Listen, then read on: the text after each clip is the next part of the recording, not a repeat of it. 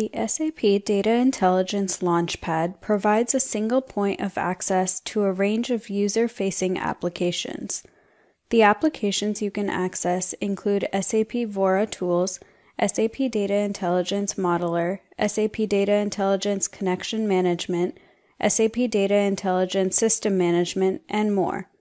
The SAP Data Intelligence Modeler helps create data processing pipelines, or graphs, and provides a runtime and design time environment for data driven scenarios.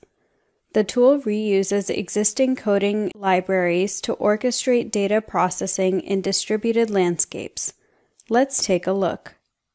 SAP Data Intelligence comes with a set of predefined graphs and operators and allows users to create new graphs and operators as well. A graph is a network of operators connected to each other using typed input ports and output ports for data transfer. Users can define and configure the operators in a graph. Here we have the graph editor. You can use this editor to create a graph with one or more operators.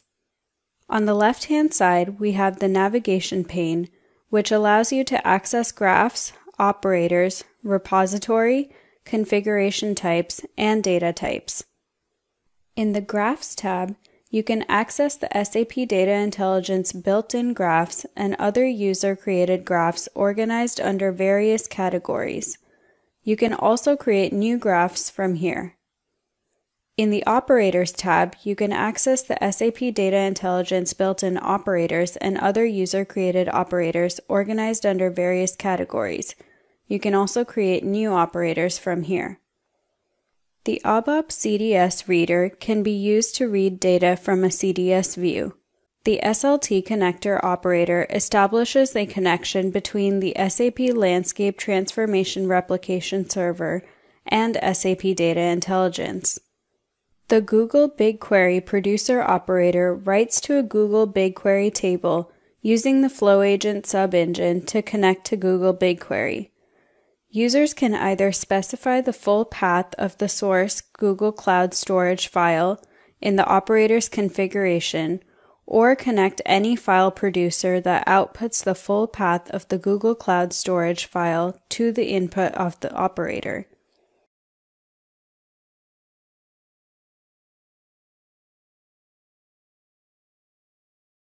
The Oracle Table consumer reads from an Oracle table or view.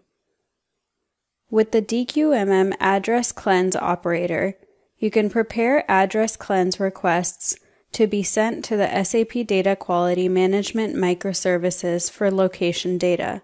SAP Data Quality Management microservices for location data offers cloud-based microservices for address cleansing, geocoding, and reverse geocoding.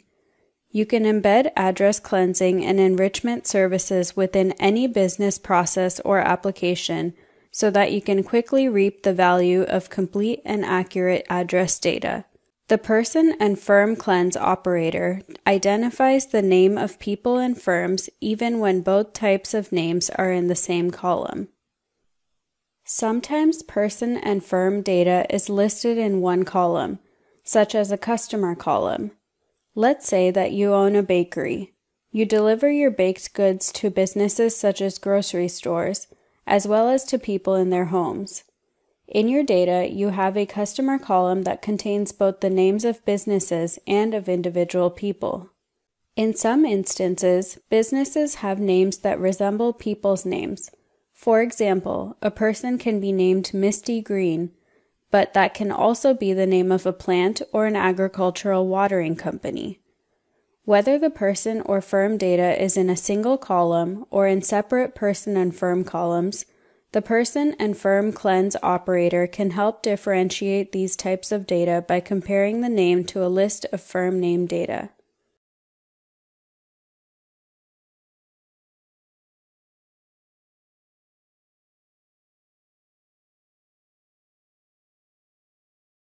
This is a pre-trained image classification service.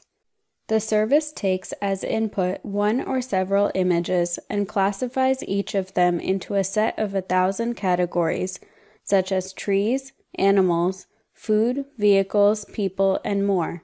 This is a pre trained text classification service. The model for the classifier was obtained by training on approximately 300,000 IceCat product texts. The classifier chooses from a set of 50 categories.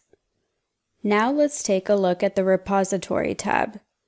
In the Repository tab, you can create and work with different modeler objects such as graphs, operators, types, and so on.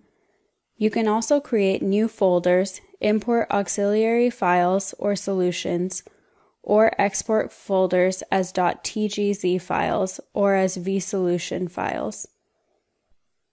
In the Configuration Types tab, you can access all type definitions or create new types.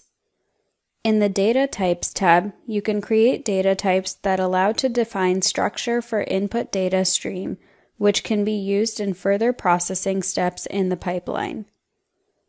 In the right pane, you can define the configuration parameters for the graph, groups, and operators.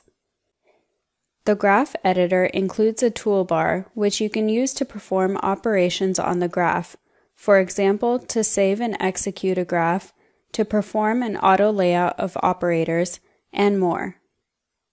The bottom pane consists of a status pane, log pane, schedule, and a trace pane for the modeler.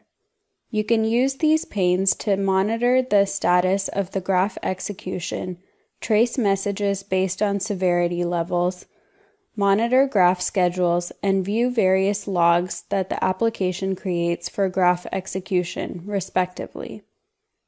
Now let's build our graph. We'll add the data generator as a node.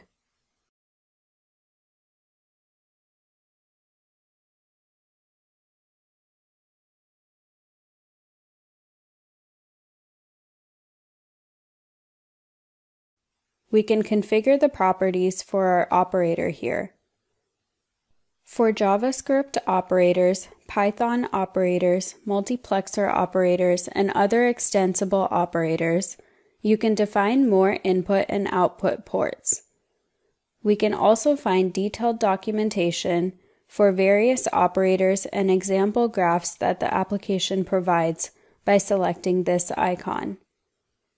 Now we'll connect the data generator to a terminal operator.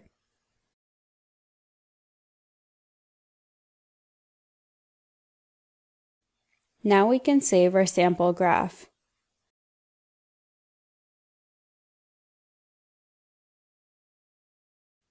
and now we can run the graph. We can see that the graph is about to run. And now the graph is running. If we select the job, we can see the status and details. And here we can see more information to debug the data.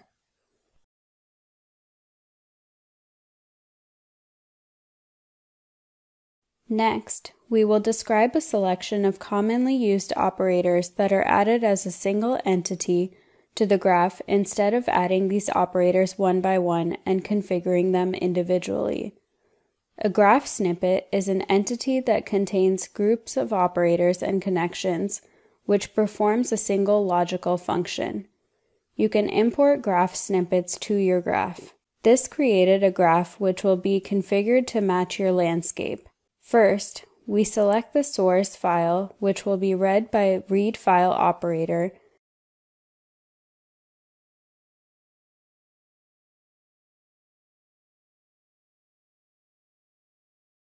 and then choose the target HANA table to load to.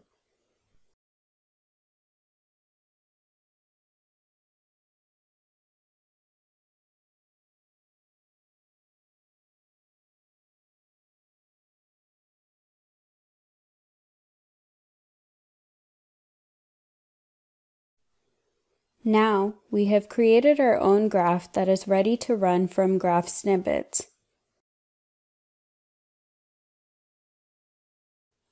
SAP Data Intelligence also provides predefined templates for common usage scenarios as an alternative to building your own graph.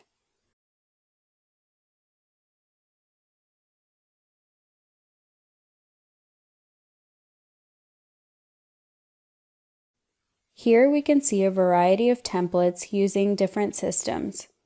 We'll take a look at an ABAP scenario template.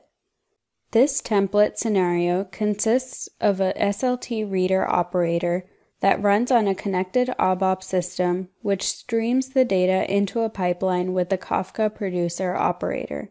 Now we've seen two ways to easily create pipelines in SAP Data Intelligence.